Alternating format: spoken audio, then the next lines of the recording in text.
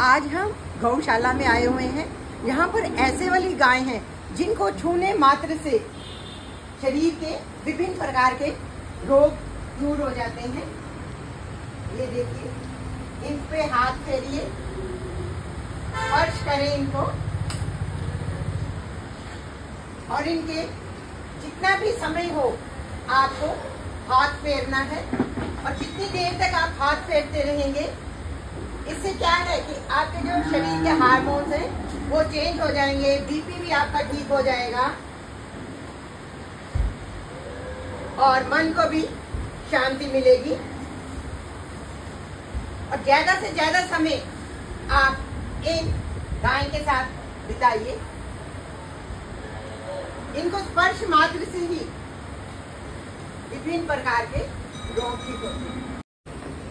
बड़े आराम से ये बहुत ही अच्छी गौ माता है। वीडियो देखने का आप सभी का धन्यवाद।